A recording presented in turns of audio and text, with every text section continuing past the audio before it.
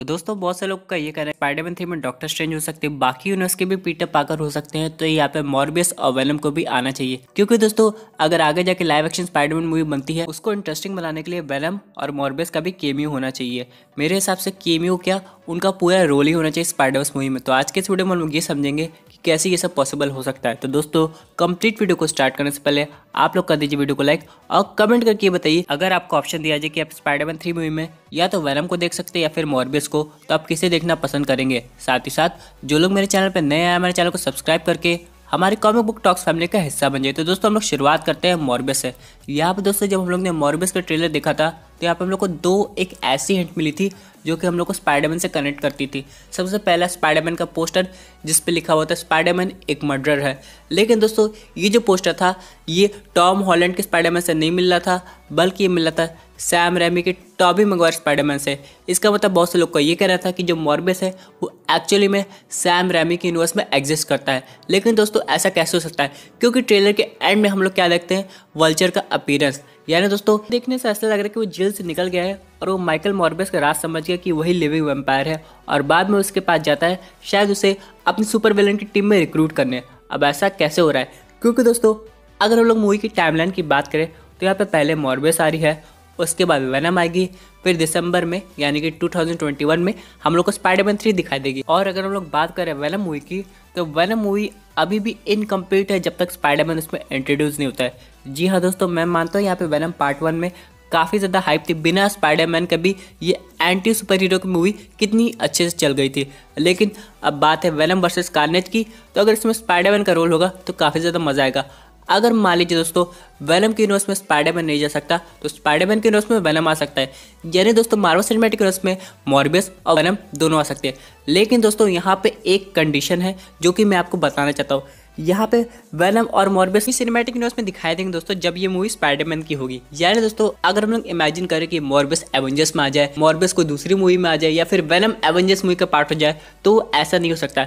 क्योंकि दोस्तों Marvel cinematic universe में अगर स्पाइडरमैन थ्री आ रही है तो इसमें ये दोनों कैरेक्टर्स आ सकते हैं। आगे जाके स्पाइडरमैन फोर में आ सकते हैं। लेकिन इन सब के अलावा बाकी मूवीज़ में इन लोग का अपीयरेंस नहीं हो सकता। तो इसलिए दोस्तों, क्योंकि वेनम और मॉर्बियस सोनी के कैरेक्टर्स है, इसलिए वो बाकी मूवीज़ में नहीं आ सकते। लेकिन दोस्तों, मेरे हिसाब से इसमें कोई दिक्कत नहीं होनी चाहिए, क्योंकि मार्वल सिनेमेटिक यूनिवर्स में बहुत सी स्टोरी लाइन है और वैसे भी स्पाइडरवर्स की लाइन अलग है। तो यहाँ पे अगर स्पाइडरमैन मॉर्बियस वेनम एक अलग स्टोरी लाइन बनाएँगे तो वो और अच्छा होगा। लेकिन दोस्तों, यहाँ पे ऑडियंस के माइंड में एक क्वेश्चन आएगा यहाँ पे एक ऐसी स्टोरी हो, फिर शायद हम लोग को देखने को नहीं मिल पाएगी, जो कि है मॉर्बियस वर्सेस ब्लेड जी हाँ दोस्तों, जैसे कि हम सब लोग जानते हैं कि मॉर्बियस एक वेम्पायर है, और ब्लेड जो है, उसका काम है वेम्पायर को हंट करना। हालाँकि अगर आप लोग ये नहीं जानते तो मैं आपको बताना चाहता हूँ कि ब्लेड भी हाफ़ वेम्पायर यहाँ पे दूसरी तरफ़, जहाँ पे मॉर्बियस और बाकी वेम्पायर को सेल नाइट से प्रॉब्लम होती है, वही ब्लेड को इससे कोई दिक्कत नहीं होती।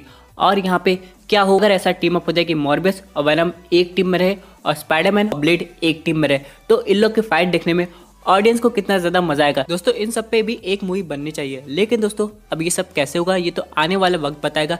लेकिन हम लोग एक चीज़ तो कर सकते हैं कि अगर मॉर्बियस सैम रेमी के से बिलोंग करता है तो उसी तरीके से आएगा जिस तरीके से उस यूनिवर्स के डॉक्टर स्ट्रेंज और पीटर पाकर आ रहे और रही बात वेनम की तो वेनम को अगर स्पाइडरमैन के यूनिवर्स में आना है तो यहाँ पे मैजिक करने कोई टेक्नोलॉजी की ज़रूरत पड़ेगी। क्योंकि हो सकता है वेनम के यूनिवर्स में एक ऐसा सुपर हीरो एग्जिस्ट करता हो जो इस टेक्नोलॉजी पे काम कर रहा होगा, जिसकी वजह से वेनम बाद में करंट मार्वल सिनेमेटिक यूनिवर्स में आ सकता है। लेकिन दोस्तों, ये सब परमानेंट बेसिस पे नहीं होगा। यानी दोस्तों वेनम और मॉर्बियस अपना मिशन करेंगे, उसके बाद ये लोग अपने यूनिवर्स में लौट जाएँगे। यानी दोस्तों, एक चीज़ तो कंफर्म है स्पाइडरमैन थ्री के बाद अगर लाइव एक्शन स्पाइडरवर्स मूवी आती है तो इन सब का मिलना तो तय है और हम लोग को एक अच्छी स्टोरी लाइन भी दिखाई देगी। लेकिन यहाँ पे अब ऑडियंस के पास एक ऐसा क्वेश्चन आ रहा है जो कि ऑडियंस समझना चाहती है। क्योंकि अगर हम लोग बात करें एनिमेटेड स्पाइडरवर्स मूवी की तो इसमें हम लोग देखे थे कि मायस मोराइल्स के पीछे पूरी स्टोरी थी। लेकिन अगर हम लोग बात करें करंट मार्वल सिनेमेटिक यूनिवर्स या फिर सोनी यूनिवर्स के स्पाइडवर्स मूवी की तो हो सकता है ये स्टोरी टॉम हॉलैंड के पीटर पाकर पे बेस हो। अब दोस्तों, इसी के अलावा एक और क्वेश्चन रहता है कि वेनम को स्पाइडरमैन जैसी पावर्स कब मिलेगी? क्या उसके यूनिवर्स में स्पाइडरमैन आएगा? और अगर वो होगा तो क्या वो एंड्रू ग्राफिल का स्पाइडरमैन होगा? या फिर दोस्तों टॉम हॉडली के यूनिवर्स में हम लोग को एक नया स्पाइडरमैन देखने को मिलेगा। क्योंकि दोस्तों, अगर ऐसा हुआ तो स्पाइडरमैन थ्री या फिर कोई और मल्टीवर्स स्पाइडरमैन मूवी में हम लोग को तीन नहीं, बल्कि चार स्पाइडरमैन दिखाई देंगे। पहला टॉम हॉलैंड का पीटर पाका उसके बाद एंड्रू ग्राफिल टॉमी फिर एक स्पाइडरमैन जो वेनम के यूनिवर्स से बिलोंग करेगा। और वैसे भी दोस्तों, जब हम लोग ने वेनम पार्ट वन मूवी देखी थी तो हम लोग को पता था कि वहाँ पे अलग टाइप के सिम्बियोट्स होंगे। लेकिन दोस्तों, अगर हम लोग बात करें मॉर्बियस मूवी की तो हम लोग को ये नहीं पता कि ये किस तरह से वेनम से कनेक्टेड होगी। और अगर लोग को ट्रेलर टू में कुछ वेनम की हिंट दिखाई देती है तो वो कैसी होगी? क्योंकि दोस्तों, जैसे हम लोग बात करें एवेंजर्स की तो पहले आयरन मैन आए फिर कैप्टन अमेरिका आए फिर थॉर है। उसके बाद हम लोग को ये मूवी देखने को मिली। उसी तरह, अगर सोनी के यूनिवर्स में भी कोई कंबाइंड मूवी बनती है तो यहाँ पे भी मॉर्बिस आया वैनम आया, फिर बाकी कोई सुपर हीरो या एंटी हीरो आएगा, फिर उन सबकी मिला के एक मूवी बनेगी, जो ऑडियंस को देखने में काफ़ी ज़्यादा मज़ा आएगा। एक साथ दोस्तों, बात करते हैं हम लोग अपने अगले अपडेट के, जो रिलेटेड इटर्नस है यहाँ दोस्तों इटर्नस मूवी बस कुछ महीने में आने वाली है और हम लोग को फाइनली इटर्नस की स्टोरी के बारे में कुछ पता चला है। यहाँ पे ये कहा जा रहा है कि इटर्नस एक एलियन रेस है, जो कि अर्थ पे आती है सेलेक्शन के थ्रू ताकि वो अर्थ को प्रोटेक्ट कर सके डेविड से। अब यहाँ पे दोस्तों कॉमिक बुक की बात करें, जो इटर्नस थे, वो कभी एलियंस थे ही नहीं। वो अर्थ पे रहते थे और सेलिशल्स आए थे ह्यूमंस पे एक्सपेरिमेंट करने और उन्हें इटर्नस में कन्वर्ट कर दिए। और यहाँ तक कि डेविड्स, जिन्हें हम लोग मॉन्स्टर कह रहे हैं, वो भी अर्थ के रहने वाले थे, जो अलग से डेविड्स हो गए यानी कि दो स्पीशीज बनी सेलेशल्स की वजह से इटर्नल्स और डेविड्स अब यहाँ पे इटर्नल्स कई समय से अलग रह रहे थे और जब प्रेजेंट टाइम आया तो लोग एक साथ हो गए क्योंकि डेविड जग गए थे। तो दोस्तों, इसके पीछे का कारण हो सकता है मार्वल सिनेमैटिक में होने वाले स्नैप हम लोग को पता है कि यहाँ पे चार बार स्नैप हुआ है। पहला स्नैप थेरॉस ने किया था अर्थ पे, दूसरा स्नैप थेरॉस ने अपने प्लानट पे किया था, ताकि वो इन्फिनिटी स्टोन्स को डिस्ट्रॉय कर सके उसके बाद तीसरा स्नैप प्रोफेसर हल्क ने किया था ताकि वो लोग को वापस ला सके। और दोस्तों, अगर हम लोग बात करें फाइनल स्नैप की तो वो आता है टोनी स्टार्क के थ्रू दोस्तों, जब भी कोई स्नैप करता है, एक एनर्जी लेवल रेडिएट होती है, जिसकी वजह से हो सकता है जो डिवेंट सोए हों अर्थ में वो जग गए हों, जिनकी वजह से इटर्नस एक साथ आ गए। अब यहाँ पे कुछ इटर्नस की पावर्स भी बताई गई है, जैसे इक्रिस की पावर है सुपर ह्यूमन स्ट्रेंथ और अगर हम लोग बात करें ना कि उसके पास ऐसी पावर है कि वो वेपन्स को क्रिएट कर सकती है। अब यहाँ पे डिवेंट्स इतने ज़्यादा अर्थ पे भारी पड़ सकते हैं कि इटर्नस को सेल्शियस को बुलाना पड़ेगा। इन्हीं में से एक इटर्नल जिसका नाम है एजेक्स उसके पास एक स्पेशल पावर है कि सिर्फ़ वही एक इटर्नल है जो कि सेलिशियस से कम्युनिकेट भी कर सकती है। यानी दोस्तों सेलिशियस का रोल बस पुराने समय में नहीं दिखाया जाएगा जब वो इटर्नस को क्रिएट कर रहे थे, बल्कि जो प्रेजेंट टाइमलाइन है मार्वल सिनेमैटिक यूनिवर्स की। भी दोस्तों, उनका इंट्रोडक्शन अभी देखने की बात होगी, जब सेलिशियस आएँगे अर्थ पे तो डॉक्टर स्ट्रेंज का क्या रिएक्शन होगा?